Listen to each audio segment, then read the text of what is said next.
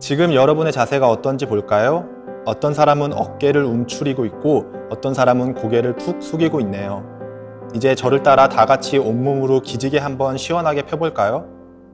네, 몸을 길게 쭉 늘려보는 거예요. 허리 척추가 쭉 곧게 펴지는 게 느껴지나요?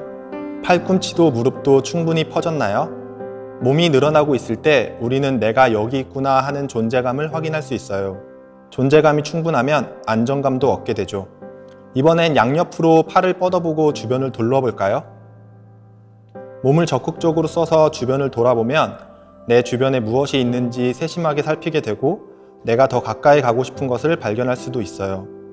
또 주변의 위험한 것들로부터 내가 어떻게 행동해야 할지 대비할 수도 있어요. 야생의 동물들이 자신을 지키려고 할 때나 위험에 맞서려고 할 때의 자세를 본 적이 있을 거예요. 동물들은 이런 자세를 통해 내가 얼마나 힘이 있고 능력이 있는지를 나타내는 것이죠. 이러한 능력은 우리 몸에도 있습니다.